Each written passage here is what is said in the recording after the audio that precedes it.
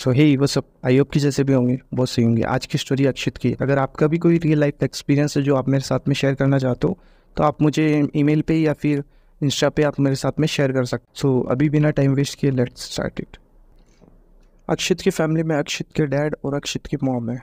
अक्षित के डैड का ऐसे जॉब ऐसे ही कि वो प्राइवेट जॉब करते हैं तो उनकी पोस्टिंग वगैरह अलग अलग जगह होती रहती है अलग अलग जॉब्स मिलती रहती है। तो इस बार उनकी जॉब उदयपुर में के उदयपुर के पास ही किसी सिटी में है। सो अक्षित की फैमिली सभी वहीं पे चली जाती है। अभी ये फ्लैट्स वगैरह फ्लैट हंटिंग करते तो फ्लैट्स वगैरह इन्हें मिलती नहीं है। बट इन्हें एक घर मिलता है जो इंडिपेंडेंट मतलब इंडिपेंडेंट होता भी है और नहीं भी। क्योंकि वहाँ पे सिर्फ़ एक दादाजी और दादी जी रहते हैं।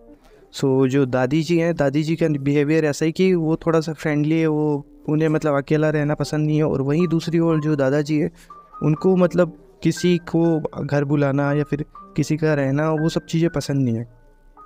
सो so, यही होता है कि अब जब अक्षित वगैरह वो जो रूम अपना फ्लैट एंट्री कर रहे हैं अब जब हाउस के लिए आए तो उन्हें रेंट पे जो दादी जी है वो रूम दे मतलब घर दे देती है। अब वो ऊपर रहते दादी जी और जो अक्षित की फैमिली है वो नीचे रहती है। अब इनकी लाइफ में बहुत सही चल रहा है। अक्षित भी अपना रेगुलर स्कूल जा रहा है उसका डैड भी ऑफ़िस जा रहे हैं। तो ऐसे ही करते करेंगे दो तीन महीने निकल जाते हैं। अब एक दिन ऐसा होता है कि जो दादी जी है, उनकी थोड़ी तबीयत ख़राब होने लग जाती है और तबीयत इतनी ज़्यादा ख़राब हो जाती है कि उनकी डेथ हो जाती है। अब उनकी जैसे डेथ हुई है तो जो दादाजी वो अकेले रह गए। अब वो अकेले रहे हैं तो उनका जो बेटा है, बेटा जो बाहर जॉब करता है, वो आया है और वो दादाजी को अपने साथ ही ले जाते हैं, क्योंकि वो उन्हें अब अकेला नहीं छोड़ना चाहते। तो अब ये घर पूरा इंडिपेंडेंट हो गया, जो पूरा अक्षित की फैमिली को ही मतलब इसकी देख रेख करनी होती है और क्योंकि वही रहने वाले रहते हैं और जो उसका रेंट है, वो वो डायरेक्ट ही जो उनका बेटा है, उसी को ट्रांसफ़र कर देते हैं। तो ऐसे ही चलता है। अब उनकी लाइफ तीन चार महीने ऐसे ही निकल रहे हैं। अब एक टाइम ऐसा था कि जब अक्षित की भी बोर्ड्स के एग्ज़ाम आ गए, उस, वो टेंथ क्लास में उसके बोर्ड्स के एग्ज़ाम है उसका रूटीन ऐसे कि वो नाइट में भी लेट तक पढ़ाई करता है और सुबह भी उठ के फिर पढ़ने बैठ जाता है। और उसके डैड का ऐसे कि उसकी उनकी नाइट शिफ्ट है। तो वो भी घर पे रहते नहीं है तो अक्षित अपनी मॉम के पास में ही बेडरूम में सोता है। अब इनका घर जो ऐसे है कि जो अक्षित का स्टडी रूम है, वो, वही उसका रूम है बट मॉम के पास में सोता है सो वो बेडरूम अब उसका, जो मॉम का बेडरूम है, वो और अक्षित का स्टडी रूम है इस पर बीच में सिर्फ़ एक होल की ही दूरी है। एक होल पड़ता है, फिर अक्षित की मॉम का बेडरूम आता है। सो अब अक्षित नाइट में पढ़ाई कर रहा है, उसके नेक्स्ट डे एग्ज़ाम है। वो पढ़ाई करता पढ़ाई करते करते अक्षित को लगभग नेट लेट नाइट हो गई, उसको बारह, साढ़े बारह हो गए तो अब वो टाइम देखता है, अक्षित को दिखता है कि टाइम काफ़ी ज़्यादा हो गया तो उसे सोना है और उसकी मॉम सभी सो गए थे लाइट्स ऑफ़ थी। अब वो जैसे ही मतलब उठने वाला ही होता है तो उसे दिखता है कि जो होल की लाइट है, वो अभी ऑन है। उसे काफ़ी वियर्ड लगता है क्योंकि उसकी जो मॉम है, वो कभी होल की लाइट ऑन रख के फिर कभी मतलब सोती नहीं है। वो हमेशा बंद कर देती है होल की लाइट बट आज होल की लाइट्स ऑन है तो उन्हें उसे काफ़ी अजीब लग रहा है बट वो देखते क्या पता मोम अभी जाग रही होगी। सो so, अब जैसे अक्षित उठा है अक्षित जा रहा है अब वो गेट से जैसे बाहर देखता है तो वो देखता है कि जो एक चेयर है वो बीच हॉल में रखी हुई है और उस पर कोई बूढ़ा आदमी बैठा है। तो कोई बूढ़ा आदमी बैठा है वो देखता है कि उनके हाथ में सिगार है सिगार पी रहे है और कुछ एक गाना सा गा रहे हैं। गाना सा गा रहे। अक्षित को काफ़ी वियर्ड लगता है। अक्षित दिख रहा है। अब अक्षित मतलब थोड़ा सा देख रहा है। अब अक्षित देख रहा है, इतनी नाइट में कौन आ सकता है? तो उसे लगता है कि क्या पता कोई चोर हो। बट उसे कुछ हद तक ये भी लग रहा है कि घर में चोर आना पॉसिबल है भी नहीं है। और इस कंडीशन में अगर आएगा तो चोर यहाँ पे बैठेगा क्यों? वो जो दोनों हैं वो गा रहे हैं, वो थोड़ा सा तेज करने लग जाते थोड़े तेज हो रही है एकदम। वो अक्षित को पूरी सुनाई दे अक्षित अब थोड़ा बहुत डर गया मतलब बहुत ज़्यादा डरने लगा है। तो अक्षित सीधा अपने वापस उसी बेडरूम में आ गया। अब वो आके अब वो अपने ही बेड पे सो गया और ब्लैंकेट वगैरह ओढ़ लिया उसने गेट को ऐसे सटाया क्योंकि उसे पता है कि अगर गेट अगर मैं अंदर से लॉक कर लूँगा तो सुबह मम्मी भी मुझे जगा नहीं पाएँगी। तो उसने बस ऐसे ही किया और वो बस सो गया कि ब्लैंकेट अगर मैंने ओढ़ लिया तो ब्लैंकेट मुझे बचा लेगी कि मेरा कोई कुछ नहीं कर पाएगा। अब उसने ब्लैंकेट ओढ़ी, अब वो सो रहा है। सोने की कोशिश कर रहा है, उसे नींद भी आ जाती है। अब सुबह हुई है। सुबह हुई, उसकी मॉम आई है उसके पास किया अक्षित अक्षित उड़ जाओ। क्योंकि उसकी मोम को भी काफ़ी अजीब लगता है कि अक्षित जो सुबह जल्दी उड़ जाता है, मोम से पहले ही उड़ जाता है, वो आज नहीं उठा और वो इधर ही सोया, वो मोम के पास पे भी सोने नहीं गया। तो मोम उठाती है अक्षित को भी थोड़ा अच्छा लगता है कि हाँ चलो ठीक है, मोम भी जा गई है। अब टेंशन वाली बात नहीं है। अब अक्षित मोम से पहले बोलते कि, मोम, पहले आप ये देखो कि हॉल वगैरह में कोई है तो नहीं है। उसकी मोम को भी काफ़ी वेट लगता है। मोम उसे उठाते कि, क्या हो गया? तुझे मतलब तो तुझे हो क्या गया? तू क्या देख लिया तूने? तो वो भी फिर बाद में पहले सोचता है कि उठता है, वो उसने हॉल में देखा। हॉल में कोई नहीं होता। कोई नहीं है। तो मोम से बोलता है कि, नहीं, कुछ नहीं, मैंने ऐसे ही कुछ मतलब ऐसे ही देख लिया था, ऐसे ही। तो मैं डर गया था। तो उसे मोम बोल कोई बात नहीं। तो ऐसे बोल के फिर वो अप, अपने एग्ज़ाम्स वगैरह देने चला गया। और वो एग्ज़ाम्स दे के वापस आया। अब नाइट में वो फिर से वही रूटीन अब वो पढ़ने बैठा। अब वो पढ़ने बैठा है। तो वो पढ़ रहा है पढ़ रहा है उसे फिर से वही बारह बजे का टाइम हो गया। और फिर से वो देख रहा है आज आज वो उठा नहीं है वो सिर्फ़ देख रहा है। तो देख रहे फिर से आज होल की लाइट ऑफ़ है।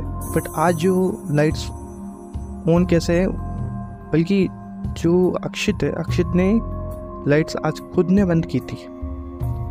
अक्षित को काफ़ी वेट लगता है कि आज तो मैंने खुद ने बंद की थी, आज कैसे ऑन है? तो अब वो अक्षित गेट की तरफ़ जाता है कि आज मैं देखो, आज कैसे तो आज अक्षित वापस गया है। तो वो देख रहे वो आज चेयर है, आज वो अक्षित के जस्ट गेट है गेट से इधर ही लगी हुई है। वो ऐसे देखता है, वो एकदम से उसे दिखती है और वो अब थोड़ा सा देख रहा है कि वो चेयर है चेयर पे दादाजी कोई मतलब बूढ़ा आदमी बैठा है। अब अक्षित वापस अपने बेड पे ऐसे ही आ गया और वो गा रहे हैं, वो शिगा रहे वो वो जस्ट उसकी गेट के बाहर बाहर बैठे हैं। अक्षित ऐसे देख रहा है। उसे दिखता है कि उसकी सीधी नज़र पैरों पे गई है। वो देखता है कि जो बूढ़ा आदमी उसके पैर उल्टे हैं। अक्षित बहुत ज़्यादा डर गया अक्षित लिटरली बहुत ज़्यादा शिवर करने लगा है, बहुत डरा हुआ है। अब वो उधर भी जा नहीं सकता अपने मोम के पास में भी।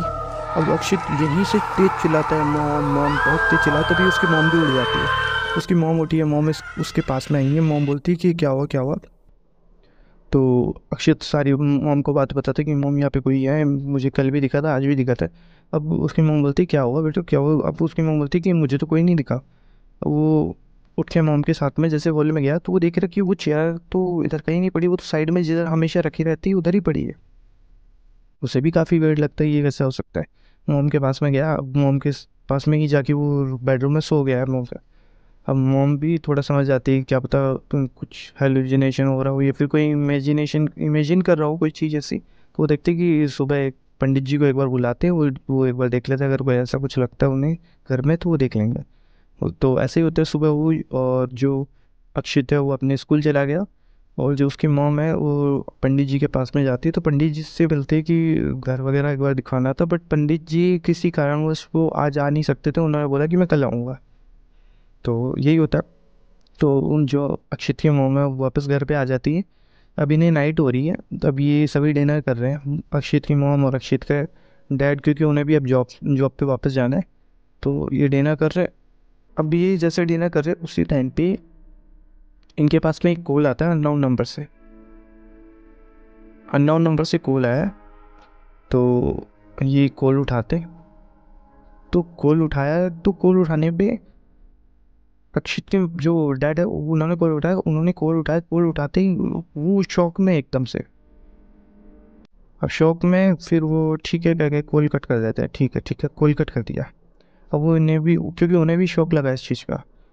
अब वो अक्षित के मोम और इसके जो अक्षित है वो बैठा है तो ये पूछते कि क्या हुआ, किसका कॉल था तो अक्षित के डैड बोलते हैं कि जो लैंडलॉर्ड है, उनके उनके जो रिलेटिव, उनका बोला है, बोल रहे कि जो दादाजी है वो एक्सपायर हो गया।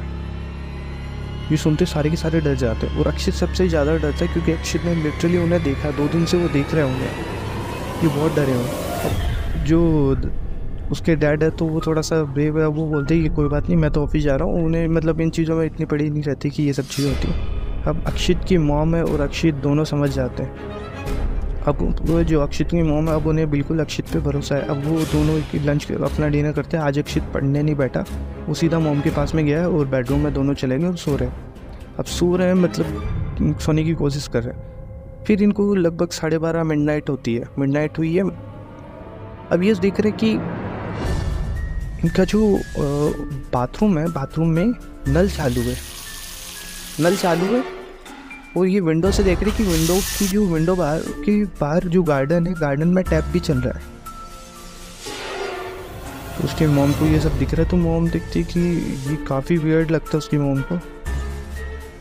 बट अब उस टाइम पे ये सब चीज़ें चल रही है तो उसी टाइम पे तुलसी ने एकदम से एक आवाज़ आती है। मतलब एक गुनगुनाने गाना गाने की आवाज़ आ रही है। कोई आदमी चल रहा है तो वहाँ पे पूरे होल में चल रहा है। अक्षित की मोम को भी बहुत डर लग रहा है। अब क्या करते अक्षित की मोम है, वो गेट जाके, जो गेट है, बेडरूम का, वो बंद कर देती है।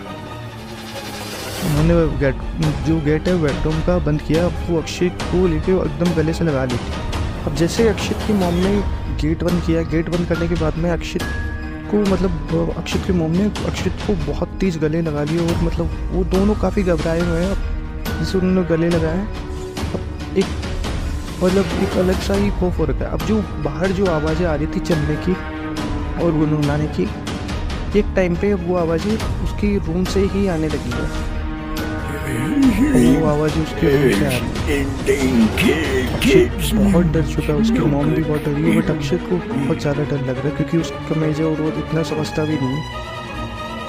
अब वो आवाज़ें लिटरली मतलब पहले रूम तक चल रही है अब उनकी एकदम बेड के पास में वो आवाज़ें आ रही है। लिटरली मतलब ऐसे है कि अक्षित का जो अक्षित का रूम है उसके जिस सामने गेट है ये बेडरूम बेड है बेड पे इधर वाली साइड में उसके मॉम सो रही है और जो वॉल साइड है वॉल साइड में अक्षित सो रहा था मतलब ऐसे बैठे, दोनों चिपके अब उस टाइम पे अक्षित के मॉम को लिटरली वो आवाज़ें यहाँ तक आ रही है, उसे एकदम मतलब कि कोई कोई है जो यहाँ पे उसके गा रहा है। ये सुन के अक्षित की मॉम बहुत ज़्यादा तेज़ डर जाती है। वो बहुत तेज़ चिल्लाती है, बहुत तेज़ चिल्लाई है। वो जैसे चिल्लाई है वो सर्दियों का टाइम में तो मतलब थोड़ा सुनसान रहती है तो आवाज़ें जल्दी से अगर आप थोड़ा भी चिल्लाओगे तो आवाज़ें सुनाई दी जाती है लोगों को। इतनी तेज़ चिल्लाइए कि पास, आसपास के नेबर सभी जाग गए। अब नेबर सभी जागे सभी के सभी उठ के आते हैं। उठ के आए तब अब अक्षित की मॉम तब जब आवाज़ सुनती कि बाहर से लोग आए तो अब अक्षित की मॉम और अक्षित निकले। अब घर से बाहर निकले तो अब लोग पूछते, क्या हुआ? तो वो सारी चीज़ें इन्हें बताते कि ऐसा ऐसा हुआ है कि वो एक्सपायर हो गए दादाजी, और वो अब हमें घर में दिखाई दे रहे अब घर में जाने की किसी की हिम्मत नहीं हो रही। सो so, अब क्या होती कि अब जैसे जो अक्षित है उसकी मॉम अब दूसरे मतलब नेबर से उन्हीं के घर पे नाइट स्पेंड करते हैं। नाइट स्पेंड किया। अब सुबह सबसे पहले ये पंडित जी को बुलाते हैं। पंडित जी आए पंडित जी मतलब पंडित जी जैसे घर में कदम ही रखते उन्हें वो मतलब एक फील होता है वो सारी चीज़ें फील होने लग जाती है कि यहाँ पे कुछ गड़बड़ है वो सारी चीज़ें समझ जा वो समझ जाते हैं सारी चीज़ें। और वो अंदर जाते हैं, वो जो अक्षित की मोमो, वो सारी स्टोरी बताती है तो वो पूछते कि वो चेयर कहाँ पे वो सबसे पहले चेयर वो अभी मतलब बीच हॉल में नहीं है, अभी वो चेयर साइड में है। मतलब जहाँ पे रेगुलर रखी रहती वहाँ है। और वो उस चेयर पे जाते हैं। और चेयर पे जाके वो कुछ मंत्र वगैरह बोलते हैं। और कुछ चीज़ें बोली और कुछ किसी से बात कर रहे हैं। तो वो जैसे बात की, वो अक्षित की मोम के पास में आते वो बोलते थे कि जो दादाजी वो एक्सपायर हुए थे, वो अब इस घर में और इस घर को छोड़ के कभी नहीं जाएँगे। ये सुन के अक्षित की मोम बहुत डर जाती है, अक्षित भी साथ में खड़ा वो भी बहुत डर गया। तो अक्षित की मोम पूछती है तो फिर क्या हमें ये घर खाली कर देना चाहिए?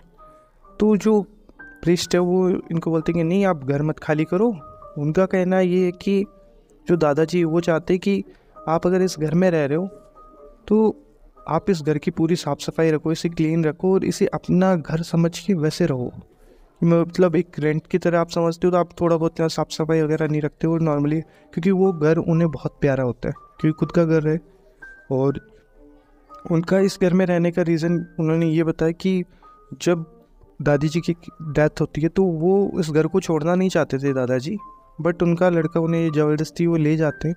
बट उनका मन यहीं पे रहता तो वो अब इस घर को कभी छोड़ना नहीं चाहेंगे। और अब जब उनकी डेथ हो गई तो अब तो वो बिल्कुल भी नहीं जाने वाले। और जो बताते प्रिस्ट वगैरह से जब उसकी मॉम पूछती है कि हमें कभी हार्म वगैरह तो नहीं करें हार्म तो नहीं करेंगे तो प्रिस्ट बोलता है, ये आपको तब तक हार्म नहीं करेंगे जब तक आप मतलब कुछ इनके अगेंस्ट में नहीं करोगे। तो ऐसे ही लगभग दो दो साल तक अक्षित और उसकी फैमिली वहीं पे रही थी। उसके बाद में इन लोगों ने चेंज कर दिया था बट इन्हें किसी ने बाद में हार्म भी नहीं किया, ना कभी डराया इन लोगों को। सो यही अक्षित की स्टोरी थी। आई होप कि आपको पसंद आई हो। अगर पसंद आई हो तो लाइक शेयर ज़रूर करना। और सेकेंड थिंग अगर आपको मेरी स्टोरीज़ में अगर कोई भी मतलब इनकम्प्लीटिशन मिलती है तो आप मुझे सजेस्ट सजेस्ट कर सकते हो कि मैं उस चीज़ को कैसे सुधार सकूँ। और आप ऐसे ही सपोर्ट बनाइए रखिए। अभी के लिए बाय बाय